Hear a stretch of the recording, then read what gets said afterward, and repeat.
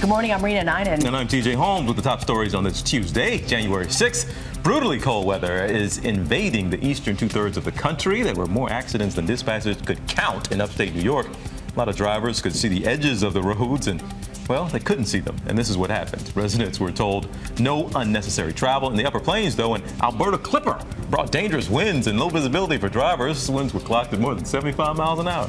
The U.S. ski team is in mourning after two top skiers died in an avalanche. Ronnie Berlack and Bryce Astle were part of a group of 10 skiers on the U.S. development team who were preparing to race on the top level World Cup.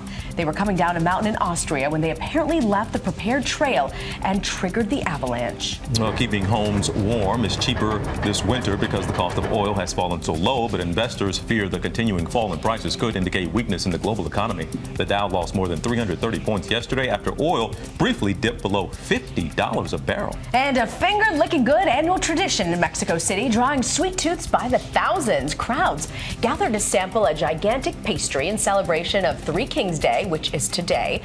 The three quarters of a mile long pastry was divided into 200,000 portions. It weighed about 20,000 pounds, and 2,000 cooks pitched in to bake it. And all of it was calorie free. Get more news anytime at abcnews.com. I'm Reena Ninan. And I'm TJ Holmes. Thanks for watching.